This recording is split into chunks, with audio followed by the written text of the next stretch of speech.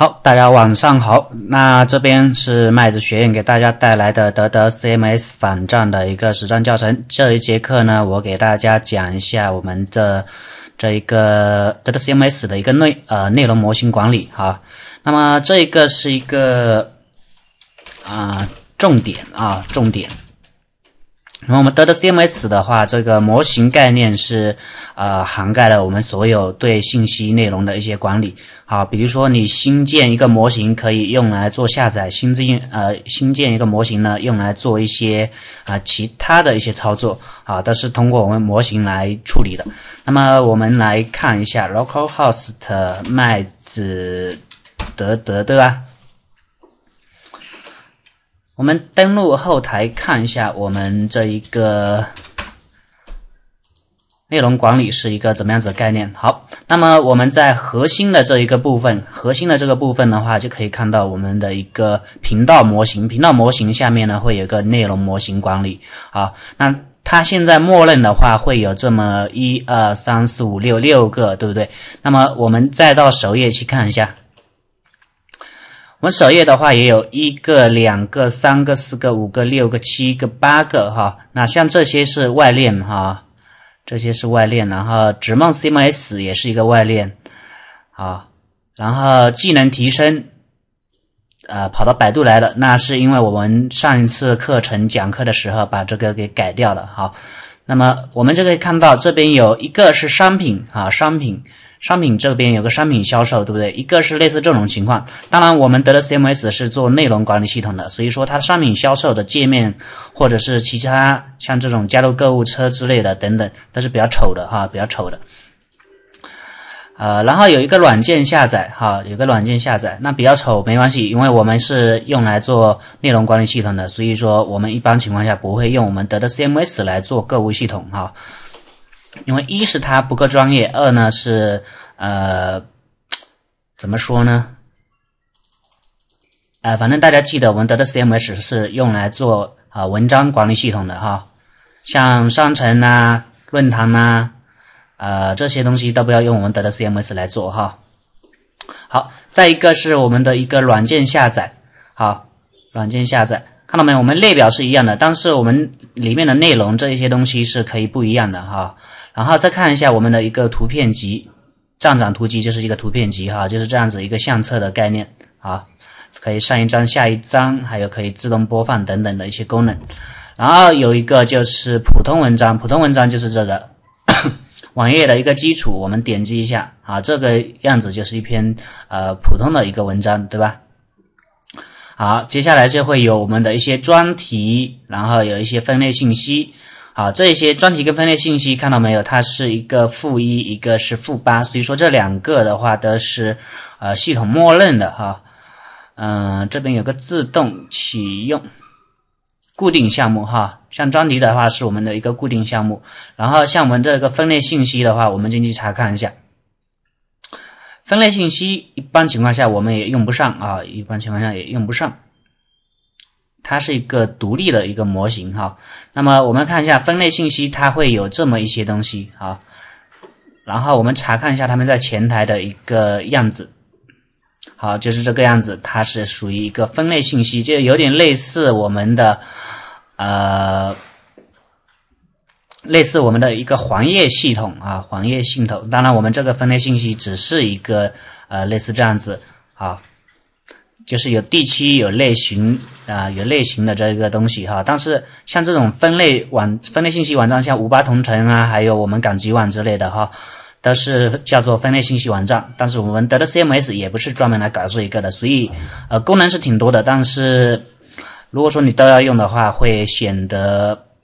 非常别扭哈，所以说大家用得的 CMS 一定要记得，如果说你只是一个内容啊，内容什么叫内容呢？就是这样子，文章类型的哈，就用我们得的 CMS，还呃还有下载也是可以做一做的啊，图集也可以用一用，商品分类信息都不要去用哈，都不要去用。如果你用起来到后面的话，呃，辛苦的是自己哈，比如说二次开发不好开发呀，啊，人员扩充扩充进来。啊，还得进来学你这一些乱七八糟的东西哈，所以说，啊，分类信息、商品销售都不要用这种东西去做哈。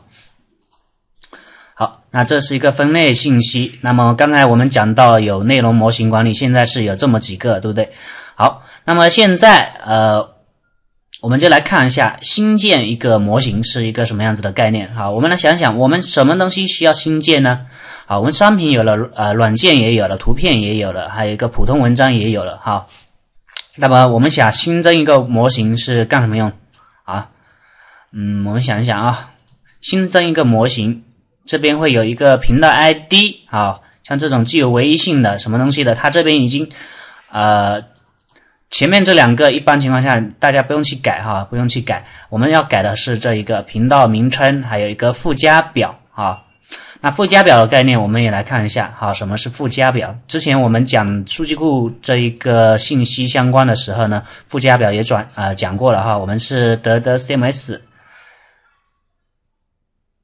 啊，应该是这个啊，像这种情况下，add on 啊，前面是以 add on 为开头的，都是我们的附加表，看到没有？这是我们的普通文章，对不对？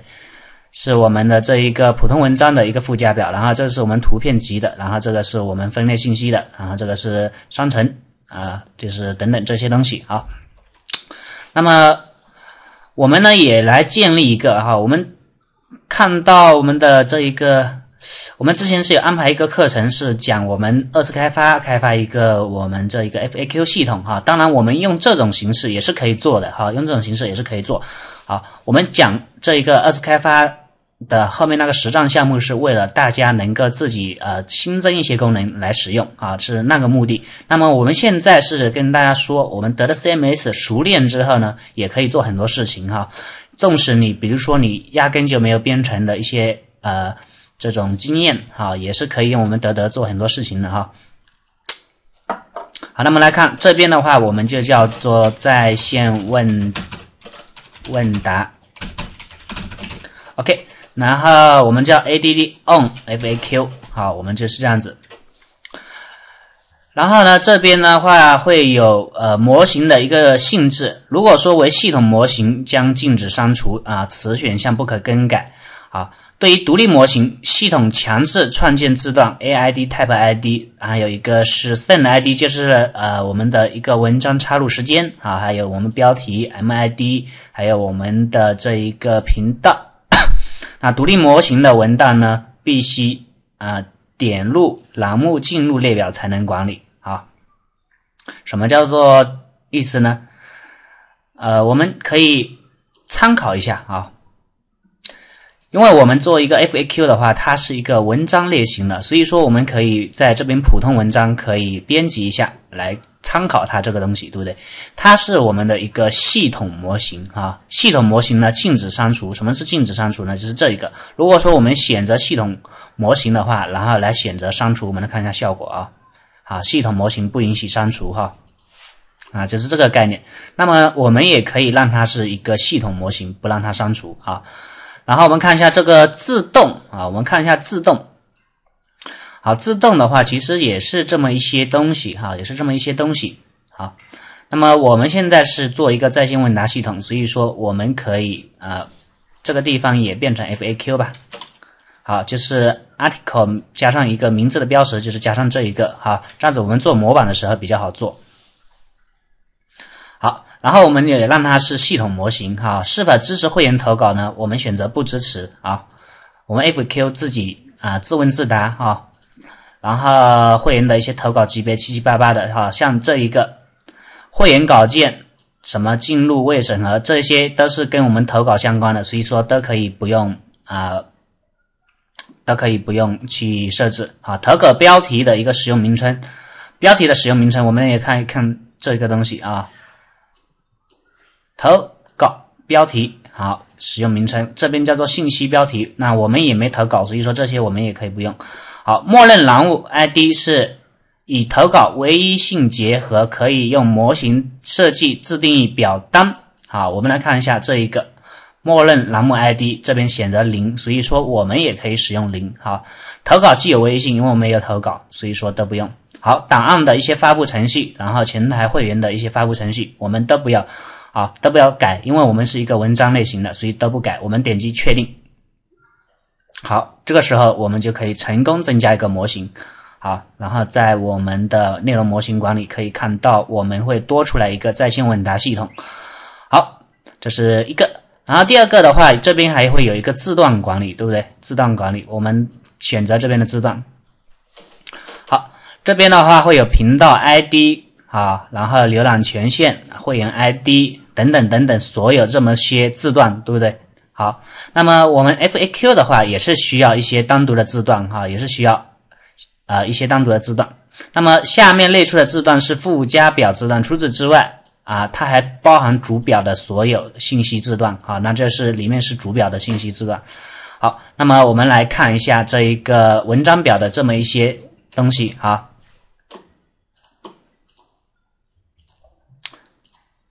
这关掉啊。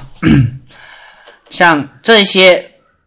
像这一些里面的一些字段，我们来看一下，它是啊，这个是打开我们分类信息，我们打开错了哈，我们应该打开的是普通文章编辑一下，然后选择字段啊，我们呢只会有一个 body 的一个啊东西，对不对？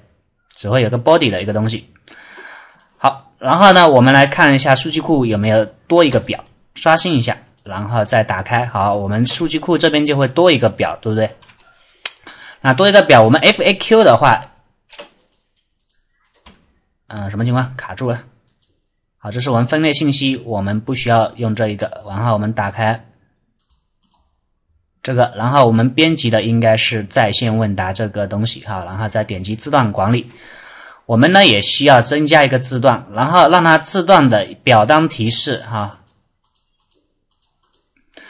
我们这边叫做禁止修改哈。嗯，选择字段，好，这边会啊禁止修改。那我们这边叫做文章内容，那我们这个提示文字呢叫做问答内容。好，然后字段名称的话，我们也用 body。好，然后这边有一个系统自动生成表单自动呃字段已在固化的呃已经在固化。已经固化在发布表当中字段，我们直接选择这一个，好，选择这一个，它会自动给我们加上这一个字段，好，然后全台的一个参数，字段可以在列表模板中获得，好，自定义字段仅能在模板中显示，启用，啊，查询并慢，呃，像这一个的话，自定义字段默认呃仅能在模文档模板中显示，那是什么意思呢？好，我们附表当中的字段，默认是只能在文章详情页。啊，默认的话，我们是只能看到这在这个地方获得的。如果说你要在字段可以在列表中获得，啊，可以在列表中使用。什么叫列表中呢？假设说网页基础，好，这个东西，假设说你要在类似这一个列表中显示的话，你就必须。勾上我们这个东西好，然后前台投稿及采集规则禁止使用本字段，这个的话就是投稿跟采集时要用的哈，你自己可以看。那么我们 FAQ 的话就不需要啊，不需要这个东西，所以我们把这个去掉。然后内容是需要分页，我们也不需要分页哈。然后这边会有个数据类型，数据类型的话大家是选择，因为我们是一个。呃，问答内容属于点击 HTML 文本，然后这边还会有很多很多的这个选项，大家可以每一个都去试一下啊，每个都去试一下。默认值最大长度我们都不填了啊，自定义表单啊，然后自定义表单的话，一般情况下也不用。我们这边选了这个之后的话，我们系统已经生成了一个东西。如果说实在满足不了，你再在这边生成哈，再在这边生成。好，然后这边会大于二五五为 test 类型，那我们肯定就是大于好，我们 test 的类型是六五五三五的一个存储空间，好，那我们也是这么写就可以了，然后点击确定。好，这个时候呢，我们就已经创立好了一个自定义的一个模型啊，创立好了一个自定义的模型。好，创立好之后，我们来看一下要怎么来使用这个东西哈？怎么来使用这个东西？我们这时候呢，要在栏目管理这一边添加一个顶级栏目也可以哈，或者是你加到别人的下面也可以。那我们添加一个顶级栏目，叫做在线问答。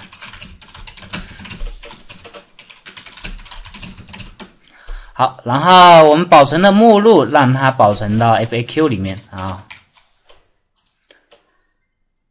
保存目录，我们直接这样子可以吗？好，如果说忘记了，我们可以参考啊，我们可以参考这个东西，我们点击更改，对吧？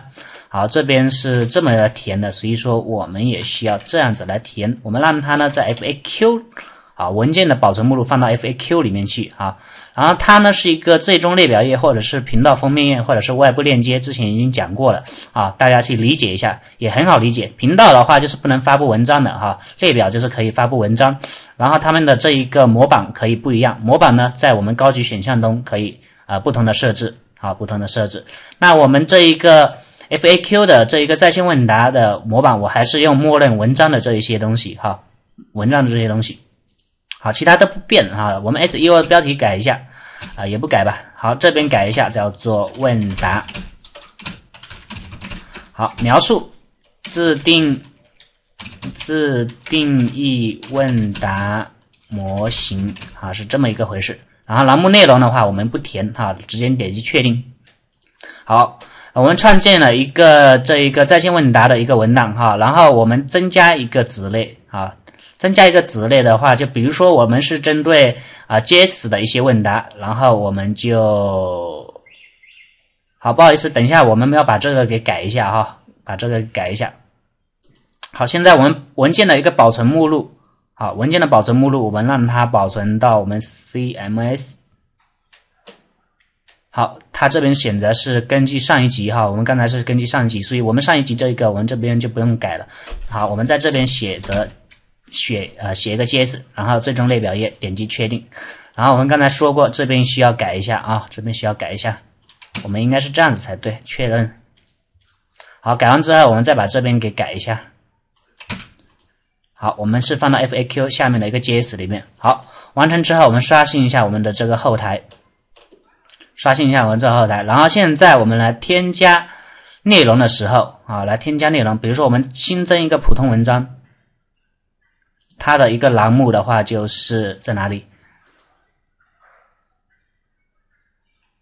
在线问答新增文章。哎，这个新增文章我们是应该没错，在这边啊，在这边哈，在线问答它是放到这个位置，因为我们是呃选择的是列表，所以没有显示这样子，我就哦，我们也把它变成一个。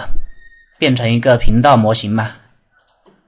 好，变成一个频道模型。我们现在发布的文章是普通文章，因为我们这一个内容模型，它默认继承的就是我们一个文章的一个模型啊。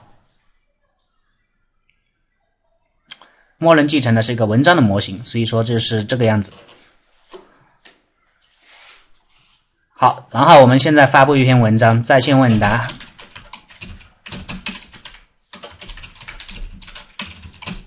好，我们选择栏目是在在线问答里面的 JS 里面哈，这边选择关于 JS 的在线问答文章，好，然后我们点击保存，保存之后呢，我们再生成这一个部分，更新一下所有栏目，